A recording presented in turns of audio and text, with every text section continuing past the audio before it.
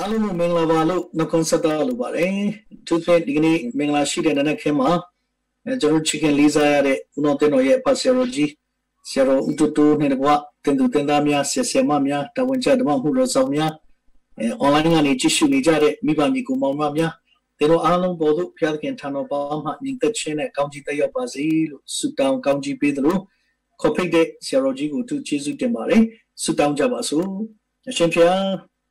တရားနဲ့တရားဝေးပေမဲ့သခင်နာမထောက်တော်ကြောင့်နှလုံးသားခြင်းဤပါ၏ဒီကနေ့ကြားမယ့်တရားစကားတိဆောက်ဆရာဖြစ်စေပါကျွန်တော်ပြောတာထက်ကတော့ပြောခြင်းဖြစ်စေပါသခင်ယေရှုနာမအဖင်ဆုတောင်းဝေငှပါတယ်ဖျားအာမင်ဖျားခင်ရဲ့ကျေးဇူးတော်ချီးမွမ်းပါတယ်အဲ့တော့ကျမ်းစာထဲမှာကျွန်တော်အားလုံးသိတယ်ဒါဝိဒ်ကိုရှောလူကလိုက်တတ်ပါတယ်အဲ့တော့ဒါဝိဒ်ကထွက်ပြေးပါတယ်အဲ့တော့သူက ဒုက္ခတွေရောက်တယ်ပြေးတယ်ရှောလူလိုက်တတ်လို့ဒါဝိဒ်က10နှစ်နီးပါးလောက်ပြေးရပါတယ်အဲ့တော့သူကပြေးရင်ပြေးရင်ဒုက္ခရောက်ရင်ရောက်ရင်နဲ့အဲ့ပြေးနေရင်နဲ့သူကနန်းတော်ရောက်သွားတာပြောချင်တယ်ရှောလူကိုဒါဝိဒ်လိုက်တတ်တော့ဒါဝိဒ်ကိုရှောလူလိုက်တတ်တော့ဒါဝိဒ်ကပြေးတာဒုက္ခတွေရောက်လိုက်ပြေးလိုက်ဒုက္ခတွေရောက်လိုက်ပြေးလိုက်ဒါပေမဲ့သူကဆူတောင်းရင်ချီးမွမ်းရင်ပြေးရင် ဒုက္ခတွေပြဿနာတွေရှိပေမဲ့သူဆူတောင်းနေတယ်ချီးမွမ်းနေတယ်ဆိုလိုချင်တာမရက်ဘူးတောင်းဒီကနေ့ကျွန်တော်တို့ဘာဖြစ်နေလဲဆိုတာထက်ဘာလုပ်နေလဲဆိုတာအရေးကြီးပါတယ်ဒီကနေ့ကမ္ဘာပေါ်မှာတော့ဖြစ်နေတဲ့အရာကတော့ကြောက်ကြောက်တွေ့လို့မရပါဘူးဒါပေမဲ့လုပ်နေတဲ့လုပ်လို့ရတဲ့အရာကတော့ချီးမွမ်းလို့ရပါတယ်ခုနလည်းချီးမွမ်းသွားတာသိကောင်းတယ်ဆူတောင်းလို့ရပါတယ်ကိုးကွယ်လို့ရပါတယ်တောင်းဘာဖြစ်နေလဲဆိုတာတော့ဟုတ်တယ်တယောက်တယောက်တွေ့လို့မရဘူး ဒါပေမဲ့ဘာလုပ်နေလဲဆိုတာတော့ကိုးကွယ်နေတဲ့အတွက်ကြောင့်အကောင်းဆုံးဖြစ်လာမှာဖြစ်တယ်ဒါကိုကျွန်တော်နားလည်ရမှာဖြစ်တယ်ဒါကြောင့်ရှောလုကဒါဝိဒ်ကိုတတ်တော့ဒါဝိဒ်ကပြေးတာပြေးရင်းနဲ့သူနန်းတော်ရောက်သွားတယ်။အဲဒီကနေ့လေကျွန်တော်တို့ဟုတ်တယ်တယောက်နဲ့တယောက်အလံဝေးနေရင်းနဲ့အကောင်းဆုံးကိုဖြစ်လာမှာဖြစ်ပါတယ်။ဟောကျွန်တော်တို့ဆုတောင်းနေလို့ဖြစ်ပါတယ်။ဒါလေးကိုအပ်ပေးချင်ပါတယ်။တောင်းဒီကနေ့ယုံကြည်သူခရိယန်တတ်တာမှာဒုက္ခရောက်တိုင်းခက်ခဲတိုင်းပြေးလွှားရတိုင်း မပူပါနဲ့ကျွန်တော်တို့ကိုအကောင်းဆုံးဖြစ်ဖို့ဖရားရဲ့ကြံစီရှိပါတယ်။ဒါလေးကိုရှင်းစွာအပ်ပေးခြင်းနဲ့တောင်းလောကမှာအဲကျွန်တော်တို့တက်တာမှာတဲ့ကျွန်တော်တို့ကအခြားအရာနဲ့တခါလေးလွဲသွားတဲ့အခါတွေရှိတယ်။ဘာဆိုလို့သူကပြောပါတယ်။အဆရာကြီးကျွန်တော်တို့အလုပ်ကောင်းဆုံးရမှာဒီယောဂကြောင့်အလုပ်နဲ့လွဲသွားပြီ။အဲကျွန်တော်တို့ငွေပြန်ရမှာအခုပတ်စံမရတော့ဘူး။လွဲသွားတဲ့အရာလေးတွေရှိပါတယ်။နောက်ကဘာကြီးမှာအဲတစ်ခုနဲ့တစ်ခုလွဲသွားတယ်အလုပ်နဲ့လွဲသွားတယ်ငွေချင်းနဲ့လွဲသွားတယ်အဆင်ပြေခြင်းတွေနဲ့လွဲသွားတယ်။ ဒါပေမဲ့အရေးကြီးဆုံးကဖျားနဲ့မလွဲဖို့ပဲအရေးကြီးပါတယ်။ဒါလေးအပေးချင်ပါတယ်။အဲ့တော့ဒီကနေ့ဟိုကျွန်တော်ယုံပါတယ်ဦးတော်တင်တော်ကအဖဆရာတော်ကြီးနဲ့တကွဒီမှာရှိတဲ့အဲလက်ထောက်ဆဆမများနော်အတင်တော်ရဲ့ကော်မတီဖွဲ့ဝင်များနော်ဒီတန်ရှင်များအဲမိဘညီကိုမောင်နှမများအတွက်အကောင်းဆုံးနှုတ်ကပတ်တော်နဲ့နေ့တိုင်းအဲနှုတ်ကပတ်တော်တွေပြန့်လွှင့်ပေးနေခြင်းဟာထူးမြတ်တဲ့မင်္ဂလာပါဒါကြောင့်ကျွန်တော်တို့ကအခြားအရာနဲ့လွဲလို့မရှုံးပါဘူး ဒါပေမဲ့ဖျားနဲ့လွဲရင်တော့ကျွန်တော်ရှုံးသွားနိုင်ပါတယ်ဒါကြောင့်ကျမ်းစာထဲမှာဘေသေဒရရေကမှာတဲ့ယောဟန်ခန်းကြီးငါငယ်တိကနေ17ထိဖိုင်တွေ့ရတယ်။နော်တနည်းတစ်ကြိမ်နဲ့အချိန်တန်ရင်တစ်နှစ်တစ်ကြိမ်ဆိုတာအချိန်တန်ရင်နဲ့ကောင်းကင်မှာကြီးလာလို့အဲ့ဒီဘေသေကကြီးကနားမှာတဲ့ကနားပြင်၅ခုရှိတယ်။အဲ့မှာတဲ့လက်ချေသေးတဲ့သူကိုပိန်၆တဲ့သူအနာယောဂဆွဲတဲ့သူတွေကတဲ့သူတို့ကရေထိုင်ကြည့်ရ။ဒါပေမဲ့ရေထိုင်ကြည့်တိုင်းကြည့်တာကြည့်တာပဲဒါပေမဲ့လွဲနေတယ်။ အဲ့ရေထိုင်ကြည့်ရင်အဲ့ရေဝိုးတဲ့ကောင်းကင်မှာအချိန်တိုင်းလာလှုပ်ပါတယ်တဲ့။လှုပ်ရင်ထိတ်ဆုံးဝင်တဲ့သူကပြောက်။ဒါပေမဲ့သူတို့ကြည့်ရကြည့်တယ်ဒါပေမဲ့လွဲလွဲသွားတယ်အဒီကနေ့အားပေးခြင်းနဲ့ကျွန်တော်တချို့အရာလွတ်တော့လွတ်တယ်လွယ်လွယ်သွားတဲ့အခါရှိတယ်ဒါပေမဲ့အချိန်မှာ38နှစ်လက်ချေတည်တဲ့သူကတဲ့သူရေကန်ရေလုတ်တာနဲ့လွဲပြီမဲ့သခင်ယေရှုနဲ့မလွဲပဲသွားတိုးတာအဒီကနေ့အားပေးခြင်းနဲ့ကျွန်တော်တို့ချားရနဲ့လွဲသွားလဲကိစ္စမရှိပါဘူးသခင်ယေရှုနဲ့သွားတိုးရင် ရုပ်တရက်ကောင်းကြီးပြန်ရမှာဖြစ်တယ်ဒါလေးကိုအားပေးခြင်းပါတယ်အဲတကယ်လို့ तू ကအကုန်လုံးလွဲတာ तू तू 38နှစ်တောင်ထိုင်ဆောင်နေတာဒီရေလုတ်ဖို့ဒါပေမဲ့ဒီလူတိုင်းသူလွဲနေတယ်ဒါပေမဲ့သခင်ယေရှုနဲ့သွားတိုးတော့သခင်ယေရှုကပြောတယ်မင်းယောဂပျောက်ချင်လားအာသူကပြောပါတယ်ကိုရောတဲ့ကျွန်တော်ရေလုတ်တဲ့အခါပထမဆုံးတွန်းချမယ်သူမရှိပြောချင်တာသူလွဲတဲ့ကိစ္စကိုပဲသူကထပ်မျောလင့်နေတယ်ဒါကြလေကျွန်တော်တို့ကကျွန်တော်နဲ့လွဲသွားတဲ့အရာဟာကျွန်တော်တို့ချီကလွန်သွားတဲ့အရာကိုကျွန်တော်မျောလင့်တယ် ဒါပေမဲ့အဲ့ဒီလွဲသွားလွန်သွားတဲ့အရာတွေကမတတ်နိုင်ပေမဲ့သခင်ယေရှုကတစ်ချက်တည်းပြန်လုပ်ပေးနိုင်တဲ့ဖခင်ဖြစ်ပါတယ်ဒါကိုကျွန်တော်တို့ယုံဖို့လိုတယ်အဲ့တော့ तू ကပြောပါဟာကျွန်တော်နဲ့ရေလုတ်ရင်နဲ့ကျွန်တော်တွန်းချပေးမယ်သူမရှိဘူးတဲ့လိုအပ်ရင်ကိုတော်တော်တွန်းချပေးပါလားလို့ तू ပြောချင်တာအဲ့ဒါမဲ့သခင်ရှုကတခါလေးပြောတယ် မင်းအိယာဆောင်ပြီးထလှမ်းအဲ့တော့ तू ကရေလုတ်တာနဲ့လွဲပေမဲ့သခင်ယေရှုနဲ့တန်းတိုးတော့38နဲ့လွဲသွားတဲ့သူတစ်ချက်သေးကောင်းကြီးပြန်ရတယ်ကြမ်းမှချင်းရပါတယ်။ ါ ဒါဒီကနေ့အားပေးခြင်းပါတယ်ကျွန်တော်ရဲ့တက်တာမှာအခြားအရာတွေနဲ့ကျွန်တော်လွဲသွားပေမဲ့လေဖယားနဲ့မလွဲရင်ဖယားပြီးမဲ့အရာကိုကျွန်တော်ပြန်ရနိုင်တယ်။ဖယားနာမဘုန်းချီပါစေ။ဒါလေးကိုအားပေးခြင်းပါတယ်။ဒီကနေ့ကျွန်တော်တက်တာမှာကျွန်တော်မလွဲဖို့ကတော့ဖယားနဲ့မလွဲသွားဘူးပဲ။ချီးမွမ်းခြင်းနဲ့မလွဲသွားဘူးပဲ။ဆုတောင်းခြင်းနဲ့မလွဲသွားဘူးပဲ။နှုတ်ကပတ်တော်နဲ့မလွဲသွားဘူးပဲ။တရားနာခြင်းနဲ့မလွဲသွားဘူး။အဲ့ဒါနဲ့တိုးတဲ့၍ ကျွန်တော်လွဲသွားတဲ့ဒုက္ခတွေပြဿနာတွေအတွက်ဖခင်ကပြောင်းပြန်လှန်ပြီးကောင်းချီးပေးနိုင်ကြောင်းအရှင်ဆိုအပ်ပေးလို့လေကျွန်တော်ဒီကနေ့တော့ပဝါနှမျိုးဆိုတာဝေငှချင်ပါတယ်เนาะကျွန်တော်ဝေငှခြင်းနဲ့ခေါင်းစဉ်ကပဝါနှမျိုးဖြစ်ပါတယ်နံပါတ်1ပဝါတော့ဗာလဲဆိုယောဟန်ခန်းကြီး20ရှောခရစ်ဝင်ခန်းကြီး20အငယ်9မှာဖတ်ရင်တွေ့ရပါတယ်ယောဟန်ခန်းကြီး20အငယ်9ကိုဖတ်ရင်ကျွန်တော်နည်းနည်းလေးဖတ်ပြခြင်းပါတယ်ရှောခရစ်ဝင်ခန်းကြီး20အငယ်9မှာเนาะ6ကနေပြီးတော့ နား6ကနေ4ကနေစဖတ်ချင်ပါတယ်ထိုသူနှစ်ယောက်တို့သည်သူပြေးကြသည်တွင်ချားသောတပည့်တော်သည်ပေတရုကိုလွန်၍တင်းငိုင်းတော်သို့ရင်ရောက်ပြီးရှိသောငုတ်၍ကြည်သဖြင့်ပိတ်ပစိုးရှိသည်ကိုမြင်လျက်မဝင်မဲနေ၏ရှိမုန်ပေတရုသည်နောက်မှလိုက်၍ရောက်သောအခါတွင်တဲသို့ဝင်လျက်ပိတ်ပစိုးရှိသည်ကို၎င်းကောင်းတော်၌ရှိသောပပွားသည်ပိတ်ပစိုးနှင့်အတူမရှိဘဲတခြားစီလိတ်လျက်ရှိသည်ကို၎င်းမြင်လေ၏ ရှောင်းခရမကကြီး20အငယ်4ကနေ9ထိဖြစ်ပါတယ်အဲ့တော့ဒီမှာကတော့ဒီဇလန်းလေးနည်းနည်းပြန်ပြောခြင်းနဲ့အဲ့ဒါဘာလဲဆိုသခင်ရှုချံပြန်ထမြောက်တဲ့မနက်မှာတဲ့ဒီမာဂရလာမာရီနဲ့ချာလိုမာရီတို့ကဒီတင်းချိုင်းတော်ကိုသွားတဲ့အခါမှာဟုတ်တယ်သခင်ရှုထမြောက်ပြီလို့သတင်းကြားတယ်အဲ့တော့အဲ့ချိန်မှာပဲသူတို့ကအားလုံးကိုသတင်းချင်ကြတယ်အဲ့တော့အဲ့တော့ပြောချင်တာကဟိုသခင်ယေရှုကနော်သူထမြောက်တဲ့အရာကိုနော်အမျိုးသမီးတွေနဲ့ကျင်ညာခိုင်းတယ် ဘာကြောင့်ဘာကြောင့်လဲဆိုတော့အတင်းတစ်ခုကိုဖြန့်ရင်တဲ့အမျိုးသားဖြန့်တာနဲ့အမျိုးသမီးဖြန့်တာအမျိုးသမီးဖြန့်တာပုံများတယ်နော်ဒါဘာကြောင့်လဲဆိုတော့အမျိုးသမီးဆိုတော့ပြောလိုက်ပုံများတယ်ဗျနော်ပုံများတယ်ဘာကြောင့်လဲဆိုတော့လေဟိုအရင်တော့တယ်လီဖုန်းပေါ့နော်တယ်လီဖုန်းမပေါ်ခင်ကတဲ့တယောက်တယောက်ပြောတယ်တယ်လီဖုန်းထပ်ပုံများတာပါလဲဆိုတော့ tell the woman နော်အမျိုးမျိုးပြောလိုက်ပါတဲ့ tell the woman မျိုးမျိုးတွေပြောရင်ပုံများတယ်တဲ့တယ်လီဖုန်းထပ်တောင်ပုံများတယ်တဲ့ဟောနင်သိပြီလား ဟိုတယောက်မသိသေးဘူးပြောပြမယ်ဆိုအဲ့ဒါမြန်တော့သတင်းကပုံမြန်တယ်တဲ့တော့ဒီမှာလဲဒီမာဂရလာမာရီတော့သတင်းဖြန့်လိုက်တော့ဟာတပည့်တော်တွေကပုံတော်တော်များသိသိတော့ပေထရုနဲ့တပည့်တော်တယောက်ကအဲ့ဒီသင်္ချိုင်းကိုသွားကြည့်တယ်ပဲသွားကြည့်တဲ့ခါမှာပထမတယောက်ကဝင်ပြီးပြန်ထွက်လာအဲ့ဒီချိန်မှာပဲပေထရုကအဲ့သင်္ချိုင်းကိုဝင်ကြည့်တဲ့ခါတဲ့ဘယ်လိုမျိုးသွားတွေ့ရလဲဆိုတော့သခင်ယေရှုကိုတဲ့ပိတ်ပစိုးနဲ့ခေါင်းခြုံတဲ့ပုံပါနောက်သခင်ယေရှုကိုဒီအရိမတ်သဲမြို့သားယောသက်ကသူ့ရဲ့သင်္ချိုင်းအစ်စ်မှာဒီ ခရစ်တော်ရဲ့သခင်ယေရှုခရစ်တော်ရဲ့အလောင်းကိုထားတဲ့အခါမှာသူတို့ကပိတ်ပစိုးပတ်ပါတယ်ပတ်ပြီးတော့ခေါင်းခြုံတဲ့ဘဝပတ်ပတ်တော့ကျမ်းစာကကျွန်တော်ဖတ်တော့ဘယ်လိုရေးထားလဲဆိုပိတ်ပစိုးရှိသည်ကို၎င်းနဲ့ခေါင်းတော်၌ခြုံသောဘဝသည်ပိတ်ပစိုးနဲ့အတူမရှိတီးကြလိတ်လျက်ရှိသည်ကို၎င်းမြင်လေဆိုလိုချင်တာကဒါကခေါင်းခြုံတဲ့ဘဝဆိုပါစို့နော်ဒါကပိတ်ပစိုးဆိုပါစို့အဲပိတ်ပစိုးနဲ့တဲ့ခေါင်းခြုံတဲ့ဘဝတီးကြရှိတယ် တီးကြရှိတဲ့ပြင်ပိတ်ပဆိုးကတီးကြတဲ့ဒါပေမဲ့ခေါင်းခြုံတဲ့ပေါ်ဝါကားတဲ့ဒီလိုလိတ်ထားတာခေါင်းခြုံတဲ့ပေါ်ဝါဒီလိုလေးလိတ်ထားတာအဲလိုလိတ်ထားတယ်သူကျွန်တော်ဒီကနေ့ဝင်ကကြတာအဲ့လိတ်တဲ့ကိစ္စပြောပြချင်တာခေါင်းခြုံတဲ့ပေါ်ဝါအဲ့လိုလိတ်ထားတာအဲ့လိတ်ထားတော့တဲ့အဲ့ဒါကြည်တာနဲ့ပေထရုကတန်းတည်တယ်ဟာတာသခင်ရှုထမြောက်တယ်ဟာတော့ခေါင်းခြုံတဲ့ပေါ်ဝါလိတ်တာနဲ့ယေရှုထမြောက်တာနဲ့မဆိုင်လေမိကြမိကုန်းရှိတယ် အဲ့တော့ဒီဂျူးလူမျိုးတွေမှာသူတို့ရဲ့ထုံးစံတွေရှိတယ်အဲ့ဒါဘာလဲဆိုဂျူးလူမျိုးတွေကဥပမာဆိုပါစို့မင်္ဂလာဆောင်ရင်ဖန်ကွက်ရိုက်ခွဲတယ်နောက်သူတို့ကမင်္ဂလာဆောင်ရင်မင်္ဂလာဆောင်ပြီးဆိုတတို့သားတို့သမီးကမင်္ဂလာခမ်းမတွေကပြန်ထွက်ရင်ဘာလို့ ਆ လဲဆိုအဲ့ဖန်ကွက်ကိုအဲ့ခမ်းမအဝမှာရိုက်ခွဲရတယ်ဘာကြောင့်ရိုက်ခွဲရလဲဆိုတော့အဓိပ္ပာယ်ကသူတို့ရှောင်းမမကြီးစောက်ခဲ့တဲ့ဗိမာန်တော်ကိုနေဘုခနီဇာတို့ကမိရှုဖျက်ဆီးတယ်အဲ့တော့ သူတို့အယံပျော်နေတဲ့အချိန်မှာတော့သူတို့ဗိမာန်တော်ကြီးကိုသူတို့ကဖျက်ဆီးခဲ့တယ်ဒါကြောင့်ဘုရားရဲ့ဗိမာန်တော်ပြိုလဲခဲ့တဲ့ကြောင့်သူတို့ကြေကွဲပါတယ်ဆိုတာတော့ဆိုတာကိုတက်တည်ပြခြင်းလို့မင်္ဂလာဆောင်ရင်ဖန်ခွက်ရိုက်ခွဲရ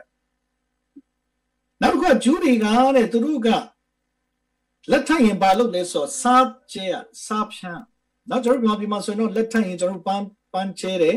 ဒါပေမဲ့သူတို့ကျတော့စားကျဲရတယ်ဘာကြောင့်လဲဆိုတော့ အဲ့ဒီဇနီးမောင်နှံနှစ်ယောက်ကိုပြက်ပြက်အသက်ရှင်မှာဆိုလို့စားချဲလင်းလင်းနဲ့နဲ့အသက်ရှင်ဒါဂျူးရဲ့ထုံးစံနောက်တစ်ခုကဂျူးလူမျိုးမှာသားဦးဆိုရင်သားဦးကတခြားသားထက်နှစ်ဆပူရအမြဲတမ်းသားဦးတွေကတဲ့တခြားသားတွေထက်တော့နှစ်ဆပူရနောက်တစ်ခုကဂျူးလူမျိုးတွေမှာမိမဝတ်တဲ့အင်ကြီးယောက်ျားမဝတ်ရယောက်ျားဝတ်တဲ့အင်ကြီးမိမမဝတ်ရအဲ့လိုဝိရင်ဖျားသခင်ပြင်းထန်စွာစီရင်ခြင်းခံရ အဲ့လိုမျိုးဒီခေတ်မှာစီရင်တော့အကုန်လုံးသိမဲ့သဘောမျိုးတွေ့ရတယ်။နော်ကျွန်တော်တို့တခါလေတချို့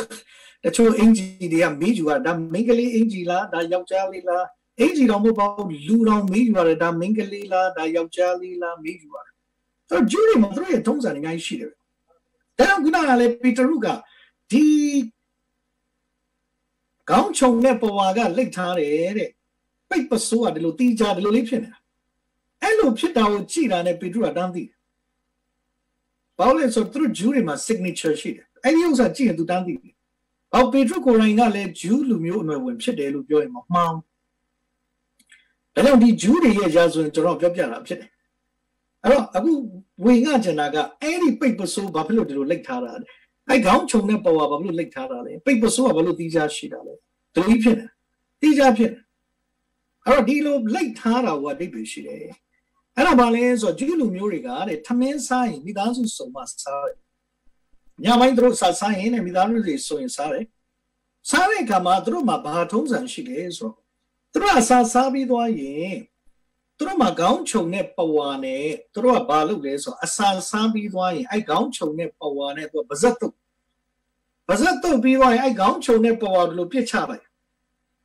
အဲ့ပြစ်ချလိုက်ပြီးအင်ရှင်ကထွက်သွားပြီဆိုရင် အိမ်မှာရှိတဲ့ခိုင်အခိုင်စီပဲဖြစ်ဖြစ်မိသားစုပဲဖြစ်ဖြစ်အဲ့ဒါသူ့အတိတ်ပဲကဘာပုံဆောင်လဲဆိုစားလို့ပြီးပြီးသိမ့်လို့ရပြီလို့အတိတ်ပဲဆောင်သိမ့်တော့လို့ပြောတယ်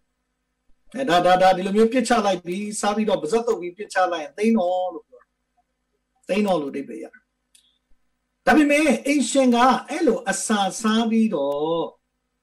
သူကအဲ့သူခေါင်းခြုံတဲ့ပဝါနဲ့သူကပါဇက်တုပ်ပြီးတော့ ဒီလိုမျိုးလေးလိတ်ထားတယ်တရရခောက်ပြီးတင်ထားရင်ဘာအဓိပ္ပာယ်ဆောင်လဲဆိုတော့မသိမ့်နဲ့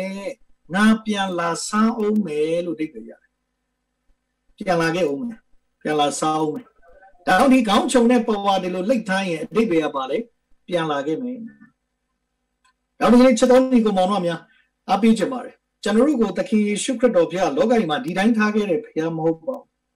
ကျွန်တော်တို့ပြစ်သွားတဲ့ဘုရားမဟုတ်ကျွန်တော်တို့ကိုပြန်သိမ်းမဲ့ဘုရားဖြစ်ဘုရားနာမပုံချီပါစေကျွန်တော်တို့ကိုလွတ်ထားတဲ့ဘုရားမဟုတ်ပါဘူးအခင်ယေရှုခရစ်တော်ဘုရားအသွေးတော်နဲ့ကျွန်တော်တို့ကိုလွှမ်းခြုံပြီးကြွယ်ကာထားတဲ့ဘုရားယနေ့ကမ္ဘာမှာ COVID-19 ကကမ္ဘာကြီးကိုချိန်ချောက်နေတဲ့အချိန်မှာကျွန်တော်တို့အသက်ရှင်ဝင်ရတာသခင်ယေရှုအသွေးတော်လွှမ်းခြုံထားလို့ဖြစ်တယ်ဘုရားနာမပုံချီပါစေ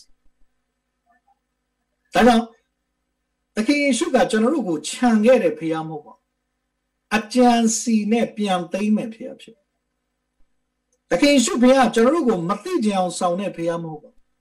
အလွန်ချစ်ပြီးပြန်လာသိမ့်ဆဲမယ်ဖခင်ဖြစ်တယ်ဖခင်နာမှာပုံချပါစေဒါကိုကျွန်တော်နားလေရဒါကြောင့်ပေတရုကအဲ့ဒီခေါင်းခြုံတဲ့ပေါ်ကအဲ့လိုလေးလိတ်ထားတာကြည့်တာနဲ့သူ့သူ့သဘောပေါက်သွားပြီပိပဆိုးကတတ်တခေါင်းခြုံတဲ့ပေါ်ကဒီလိုလိတ်ထားတဲ့အတွက်ကြောင့် သခင်ယေရှုကသူတို့ကို ပြန်လာသိမ်းဆဲမယ်ဆိုတဲ့အိဗယ်ဆောင်ပါတယ်။ဒါတကယ်ချက်တော်ညီကောင်မများအားပေးလိုပါတယ်။ကျွန်တော်ဘဝမှာမကယ်နိုင်တဲ့အရာအားလုံးဖျားကယ်နိုင်တယ်။ကျွန်တော်ဘဝမှာဒီတိုင်းပဲတို့ရှုံးနေပြီးဟာခက်ခဲပြီးမပြေလည်ဘူးလို့တခါလေထင်တဲ့အရာအားလုံးဘုရားကပြန်လာသိမ်းပြီးကောင်းချီးပေးမှာဖြစ်။ဒါကိုကျွန်တော်နားလည်ရမယ်။ဒါကြောင့်ချမ်းစာထဲမှာ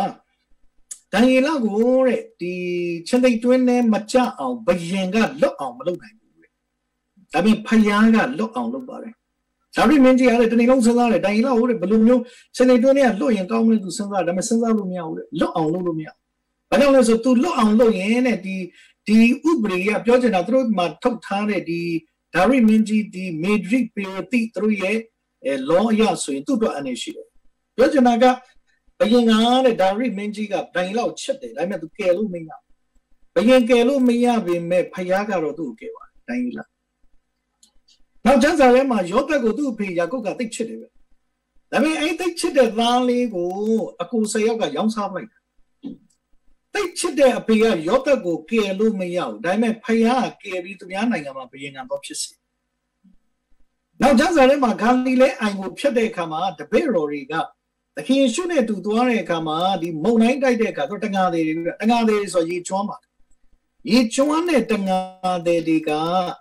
မုံတိုင်းကိုငြိမ်းအောင်မလုပ်နိုင်ဒါပေမဲ့သခင်ယေရှုကငြိမ်းအောင်လုပ်ပေးပါတယ်။ဒါဒီနေ့အားပေးချင်ပါတယ်။ကျွန်တော်တို့ကိုကျွန်တော်ကိုယ်ွယ်သောဖခင်ကဒီတိုင်းဆုံးပြတ်သွားတဲ့ဖခင်မဟုတ်ပါဘူး။ကျွန်တော်တို့ကို rapture လို့ခေါ်ရပြန်လာပြီးသိမ်းဆင်းမယ်။သူဖခင်ရဲ့အချိန်ကိုကျွန်တော်ကမျှော်နေဖို့လိုတယ်။ ဘယ်လိုမျှော်ရမလဲနှုတ်ကပတ်တော်ကိုကြည့်ပြီးအချင်းချင်းတယောက်နဲ့တယောက်တတ်တာခြင်းနဲ့မျှော်လင့်ဖို့လိုတယ်။ဒါကြောင့်ပေတရုကဒီခေါင်းခြုံတဲ့ပဝါလေးလိတ်ထားတာနဲ့သူတန်းသိတယ်။သူတန်းပြီးသဘောပေါက်တယ်။ဒါသခင်ရှုထမ်းမြောက်ပြီးတို့တွေရှိပြန်လာအောင်ပါ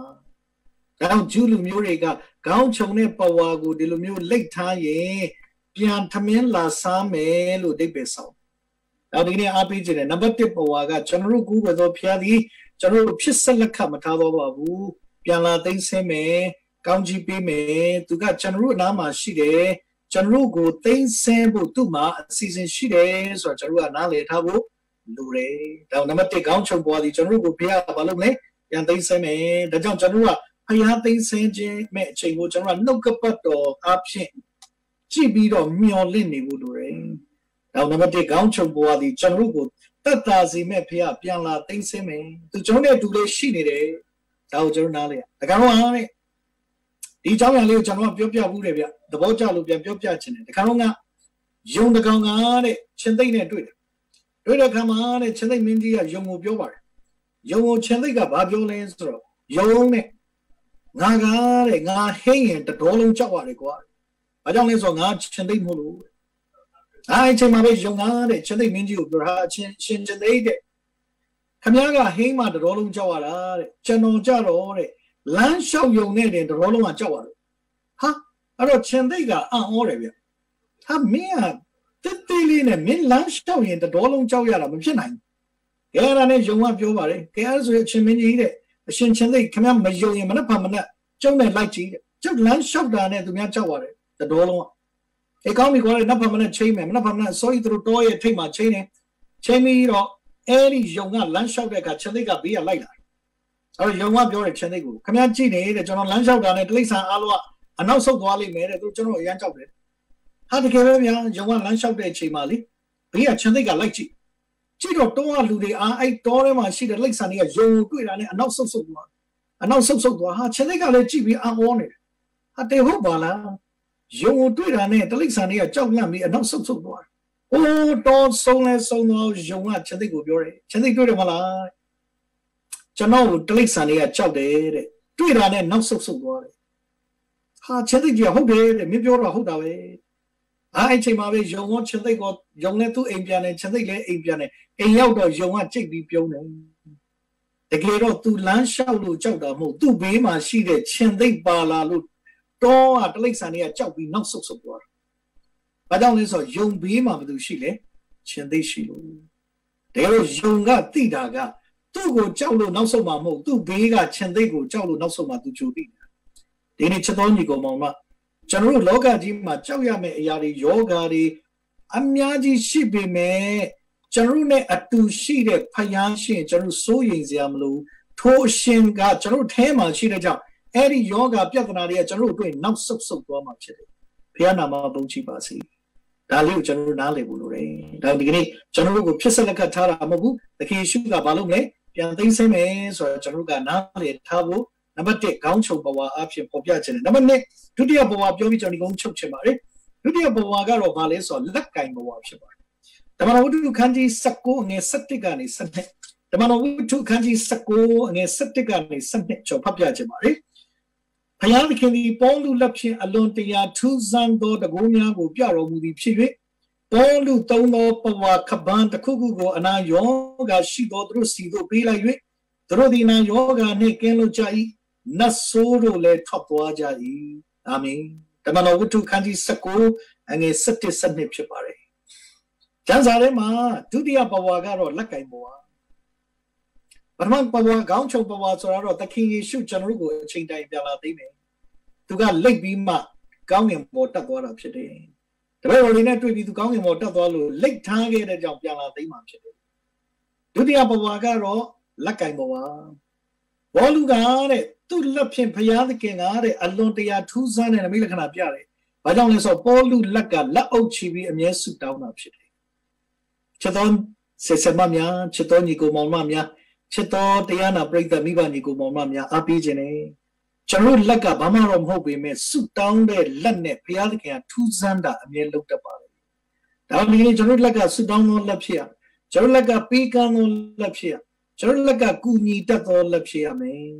နောက်ဒီနေ့ဝမ်းမြောက်တယ်ဦးတော်သင်တော်ဟာအမြဲတမ်းသူတစ်ပါးကိုပေးကမ်းကြည့်ရှုပြုစုတပည့်တော်စုတွေကိုပေးကမ်းခြင်းရောပေါင်းများစွာမှာအကျိုးပြုတဲ့အရာတွေလုပ်နေတာကျွန်တော်ကုန်ယူတယ်။ ဒါဒီကနေ့ဆုတောင်းတဲ့အသင်းတော်ပေးကမ်းတဲ့အသင်းတော်ကူညီတဲ့အသင်းတော်ပါဝင်သူများဥဆောင်သောအဖဆရာကြီးနဲ့တကွတင်တို့ရဲ့လက်အားဖြင့်ဖျားသခင်ကကြီးတဲ့နမိတ်လက္ခဏာလုပ်နိုင်တယ်။ဘုရားနာမပုံချီပါစေ။ဒါကြောင့်ပေါလုဟာသူ့လက်နဲ့တစ်ချိန်လုံးသူဆုတောင်းနေပါတယ်။ဒါကြောင့်လည်းဘုရားသခင်ကပေါလုလက်နဲ့ထူးဆန်းတဲ့နမိတ်လက္ခဏာတွေသူပြပါတယ်။ဒါကြောင့်လည်းပေါလုသုံးတဲ့လက်ကင်ဘဝခပန်း တခုခုကိုတဲ့လူနာတွေကိုပေးလိုက်ရင်တဲ့အဲ့ဒီကပန်းလက်ကင်ဘဝတို့တာနဲ့တဲ့အနာယောဂဆွဲတဲ့သူလွတ်မြောက်တယ်။အော်ဒီအောင်ကြည့်ခြင်းအဖြစ်အောင်းစရာပဲ။တကယ်တော့ပေါလုလက်ကင်ဘဝဆိုတာကကျွန်တော်ကတော့စဉ်းစားတယ်တရားဟောဆရာတွေလက်ကင်ဘဝဆိုတာတရားဟောဆရာတွေဆိုတာတစ်ချိန်လုံးတရားဟောကျမ်းစာတင်တော့ချွေးပြန်တော့ချိန်လုံးသုံးနေမှာ။ပြောချင်တာကတော့အနတ္တဘောင်းဆောင်ချွေးစွာနာနေမှာပဲအဲတို့ဘီမဲ့စုတောင်းသောလက်နဲ့ထိတဲ့လက်ကင်မွာတော် အဲလောက်တကူရှိရင်ကျွန်တော်တို့အထဲမှာရှိနေတဲ့ဖခင်ရဲ့ကြီးစုတော်ကြောင့်ကျွန်တော်တို့အတွက်လုံခြုံခြင်းဟာဒီထက်ကြီးပါလေလက်ကင်မွာပေးလိုက်တာတော့မှထိတာပြောက်တယ်ကျွန်တော်တို့ကဖခင်နဲ့အတူရှိနေတဲ့ကြောင့်ပို၍တောင်ကျွန်တော်တို့အထဲမှာဖခင်လုတ်တဲ့သက်သေတွေအများကြီးခံစားရပါလေဒါကြောင့်ရှင်ဘောလူကတိတ်ဆွတောင်းတယ်တိတ်ပြီးတော့ဖျားနဲ့သွားလာတော့သူနဲ့ကင်တွယ်တဲ့ပစ္စည်းတိုင်းမှာဖျားအထူးခြားမှုဖြစ်စေတယ်။ နောက်ဒီနေ့မိဘညီကိုမောင်မများအားပေးလို့တယ်။ဒီခါလေးကျွန်တော်ကိုကိုကိုအားငယ်တယ်ဟာငါတို့ကတော့ဘာမှမပေါ့တို့ကတော့ဘာမှမဟုတ်ပါဘူး။တရားထူးခြားသောသူစုတောင်းတဲ့သူနဲ့ပဲဖျားလို့လုပ်ပါတယ်။ချီးမွမ်းတဲ့သူနဲ့ပဲဖျားလို့လုပ်ပါတယ်။ကူညီတတ်တဲ့သူဖျားနဲ့မွေ့လျော်တတ်တဲ့သူနဲ့ပဲဖျားလို့လုပ်ပါတယ်။ဒါလေးကိုအားပေးခြင်းနဲ့ဒါကြောင့်မြန်မာစကားပုံတစ်ခုရှိပါတယ်လူမအဝိုးတဲ့တောင်းမှာအကောနော်နော်တောင်းမှာအကိုတဲ့လူမအဝိုးတဲ့ အဲ့တော့ပြောချင်တာကလူဟာတဲ့အဝတ်စားဆိုတာရေးကြည့်ပါတယ်တဲ့နော်လူဟာအဝတ်စားအခုတော့ကျေးဇူးတော်လေးဗျ stay at home ဖြစ်လို့လားမသိအဝတ်စားတော့သိမကုန်နော်ထွက်ဆရာဦးမလိုဘူးပဲနဲ့နော်ဒါလည်းအဆင်ပြေပါလေဒါလည်းတကယ်ကျေးဇူးတော်ပါအဝတ်စားတော်တော်လေးဖူဖူလုံလုံလေးဖြစ်တယ်ပေါ့နော်ဟိုဟိုဟိုတိတ်ပြီးတော့လဲဟိုဟိုဟိုထုတ်ပြစရာလဲဘာမှမရှိဘူးเนาะအိမ်ထဲနဲ့အိမ်ရှိနဲ့အိမ်အောင်ဖွဲပဲလမ်းလျှောက်တယ်ဆိုတော့เนาะ ဘယ်လိုပဲဖြစ်ဖြစ်ကိုယ်စိတ်ကြိုက်ဝတ်လို့ရတယ်ဆိုတဲ့သဘောမျိုးရှိတယ်အဲတော့လူမှာဝတ်တဲ့တောင်းမှာအကိုတဲ့နော်အဝတ်ဆိုတာလူတွေကအပြင်သွားရင်တိတ်ပြီးတော့ကြည့်တတ်တယ်ဒီကနေ့ကျွန်တော်တို့ဝတ်ရမှာကသခင်ယေရှုခရစ်တော်ကိုယူတင်ဝတ်ဆောင်ထားရင်အဲကျွန်တော်တို့ ਨੇ တုထိတဲ့အရာအလုံးမှာကြီးမားတဲ့တကူတက်တဲ့ခံစားရမှာဖြစ်တယ်။ဒါကြောင့်ဒီကနေ့ရှင်ဘောလူကသူ့အထဲမှာသခင်ယေရှုခရစ်တော်ကိုယူတင်ဝတ်ဆောင်ထားလို့သူကင်တဲ့ပစ္စည်းတိုင်းမှာဖခင်ကကြီးတဲ့နမိတ်လက္ခဏာဖြစ်စေတယ် ဒါဒီနေ့အားပေးခြင်းပါတယ်။ဒီကနေ့အဲဥဆောင်သောအဖဆရာကြီးနဲ့တကွဒီမှာရှိတဲ့တရားနာပရိသတ်များဆက်ဆက်မများကျွန်တော်အားလုံးဟာသခင်ယေရှုခရစ်တော်ကိုယူတင်ဝတ်ထားတဲ့တကြောင်ကျွန်တော်တို့ကင်တွယ်တဲ့အရာတိုင်းမှာတကူသက်တည်ဘုရားသခင်ကဖြစ်စေနိုင်တယ်ဘုရားနာမဘုန်းကြီးပါစေဒါပေမဲ့ခုရှိတယ်ကျွန်တော်ဝတ်ဆောင်ထားတဲ့သခင်ယေရှုကိုတော့ကျွန်တော်မချုပ်မိဘူးလို့လေနော်အခုကတော့ကျွန်တော်အိမ်မှာတိတ်ပူတယ်ဆိုတော့အင်ကြီးချုပ် လွတ်လွတ်လပ်လပ်နေလို့ရပါမယ်သခင်ယေရှုချုပ်လိုက်ရင်အကုန်ပါသွားပြီဖြစ်တယ်။ဒါကျွန်တော်ဝတ်ထားမှာပေါ်လူဝတ်ထားတာသခင်ရှုခရစ်တော်ယူတယ်ဝတ်ဆောင်ထားတဲ့ကြောင့်သူကင်တဲ့လက်ကင်ပေါ်မှာတကူရှိနေတယ်။ဒီကနေ့ကျွန်တော်သခင်ရှုကြောင့်ကျွန်တော်အထဲမှာကြီးတဲ့သက်သေခံစားရမှာဖြစ်တယ်။ဒါကြောင့်လေးပြစ်တဲ့သူတွေကတဲ့ခုနှစ်ရက်တိတိလေးမပြစ်ခြင်းတဲ့လက်မတဲ့တော့ဘူးတဲ့သူတို့ပြစ်တာလားရာတွေလွဲခုနှစ်ရက်တိတိလေးမပြစ် စောင်းတီးတဲ့သူကတဲ့ခုနှစ်ရက်တိတိစောင်းမတီးရင်တဲ့အတန်မတဲ့တော့ဘူးတဲ့လွဲကုန်တယ်ဘာကြောင့်အဆက်အသွယ်ပြတ်သွားဒီကနေ့ချစ်တော်ညီကောင်မကျွန်တော်တို့လေသခင်ယေရှုခရစ်တော်နဲ့မသွားရင်စက္ကန့်နိုင်တိုင်းမှာထိုရှင်နဲ့ပဲသွားဖို့လိုတယ်ထိုရှင်မရှိတော့ရင်ကျွန်တော်မှဘာမှမရှိတော့ဘူးဒါဒီကနေ့ရှင်ပေါလုကထိုအရှင်နဲ့သွားတဲ့အခါမှာထိုအရှင်အားဖြင့်ကြီးတဲ့နမိတ်လက္ခဏာခံစားရတယ်ဒါဒီကနေ့ ပဝါနှစ်ခုအားပေးခြင်းနဲ့နံပါတ်1ပဝါကကျွန်တော်တို့ကိုသခင်ယေရှုခရစ်တော်ကဒီတိုင်းထားသွားတာမဟုတ်ဘူးသူလိတ်ပြီးမှပြန်တက်သွားတာကောင်းငင်မို့ဒါကြောင့်ကျွန်တော်တို့ကိုပြန်ပြီးသိမ်းဆဲမယ်ခေါင်းချုံပဝါလိတ်ထားတယ်ဒါကြောင့်ကျွန်တော်တို့ကိုဒုက္ခထဲမှာထားမယ်ဘုရားမဟုတ်ပါဘူးအချိန်တိုင်းကျွန်တော်တို့ပြန်သိမ်းသွားမယ်ဘုရားဖြစ်ပါတယ်နံပါတ်2အဲ့သိမ်းသွားမယ်ဘုရားကိုကျွန်တော်တို့ကလက်အုပ်ချီဆုတောင်းပြီးနေ့စဉ်စောင့်မျှော်နေဖို့လိုပါတယ်ရှင်ဘောလူလက်အုပ်ချီဆုတောင်းတော့ သူ့လက်နဲ့ကင်သမျှမှာတကူပါတယ်သူလက်အုပ်ချီပြီးအမြဲသခင်ရှုခရစ်တော်ကိုယူတင်ဝတ်ဆောင်တော့သူပြောတဲ့အရာတိုင်းမှာဖခင်ကတတ်တည်ထူတယ်။ဒါဒီကနေ့ပြန်လာသိမ့်မဲ့သခင်ယေရှုကိုကျွန်တော်ဆုတောင်းလျက်အတူတကွစောင့်မျှော်ကြပါစို့လို့အပီးရင်ဒီကောင်းချုံပဝါနဲ့လက်ကင်ဘဝအဖြစ်အပီးပြီးညီကုန်းချုပ်လို့လေကျမ်းနာသူရောက်ချင်းစီတိုင်းဖခင်ကောင်းချီးပေးပါစေ။